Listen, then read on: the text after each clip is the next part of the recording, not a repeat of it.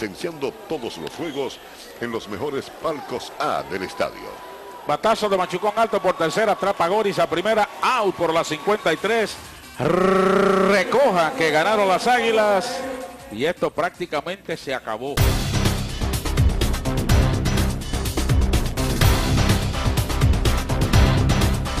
Llegamos al Estadio Cibao en Santiago de los Caballeros, donde Willy García batió de 3-3 y se estrenó con su primer cuadrangular del todos contra todos, un aldabonazo de dos vueltas en la parte baja del cuarto, mientras que su compañero de equipo Danny Richard, quien se fue de 3-2, también se fue para la calle, esta vez en solitario en el cierre del segundo capítulo.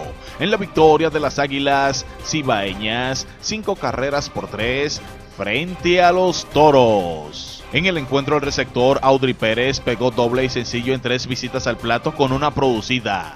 Al bate por los toros, Michael González pegó dos hits en cuatro visitas al plato, mientras que César Puello se fue de 3-1 con una impulsada y otra anotada. Eugenio Vélez también se fue de 3-1 con una anotación.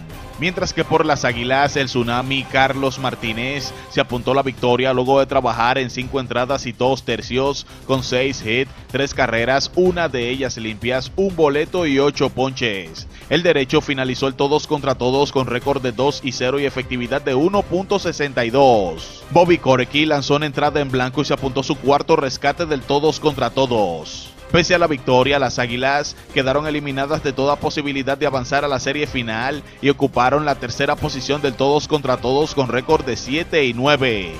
Los Toros finalizaron en el sótano con marca de 5 y 11.